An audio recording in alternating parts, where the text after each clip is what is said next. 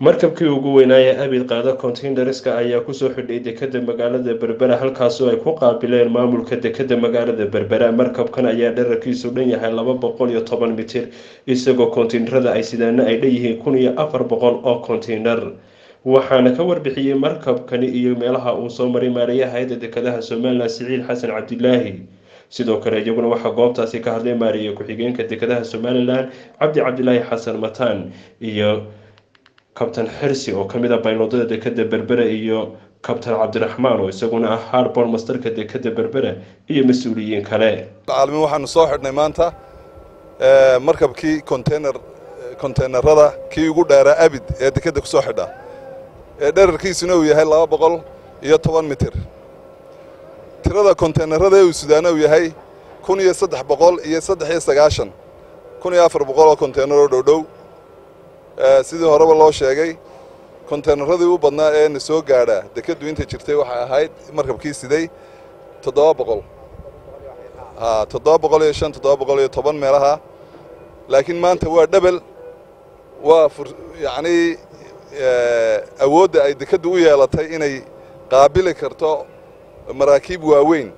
Shaqaaluhuna u tababaran yihiin ayaa caddaynaysa maanta runtii shaqaalaha dekadda berbera qaybta marinisku way ismuujiyeen. Waxaanay muujiyeen inay xirfad iyo aqoon badan barteen. Kalsooni buuxdana ay jamhuuriyadda somalilan ku qabto. Markab kasta oo xajmi kasta le inay soo xidhi karaan.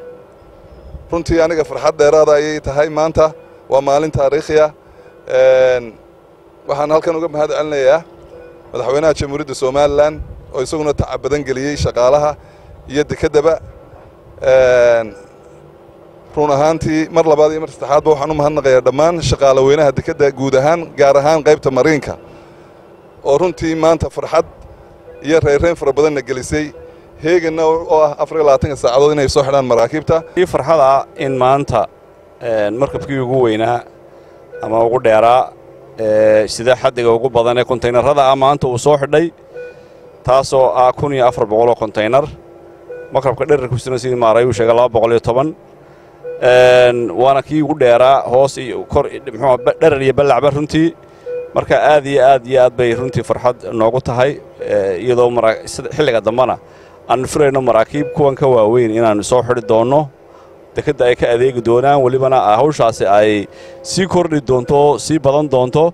Marka la dhammaystiro dhismahan iminka socda ee dekedda cusub ee boqoleafar boqolee kontaynar afar boqolee mitirka ah insha allahu tacaalaa annagoo fulinayna markaa sidii maarayuba sheegay awaamiirta madaxweynaha waxa aannu markaasi xirfad iyo tababar iyo nidaam loo sameeyey shaqaalaha.